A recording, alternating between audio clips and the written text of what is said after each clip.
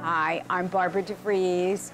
I have been coming to this gym 27 years. Hello, my name is Marian Low. I'm an evolution personal trainer at Fitness SF Fillmore. I met Barbara when she was a member of Club One, and then Club One was bought out by Fitness SF.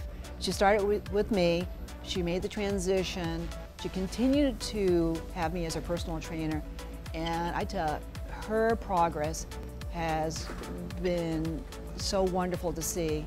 We've been working together for three years. I am in my 70s. I'm not going to say exactly where. And Marian is in her 60s. And I, it felt good to me to not have somebody very young as a trainer. As Marian and I can talk, we've had children, we can talk about life experiences also while we're doing the workout. When clients come to me, we do a integrated fitness assessment and we talk to see what their fitness goals are, how they are ach achieving them, and we set, make them accountable.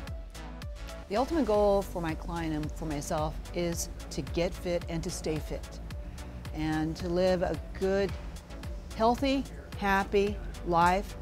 And it is exercise to achieve general fitness at any age.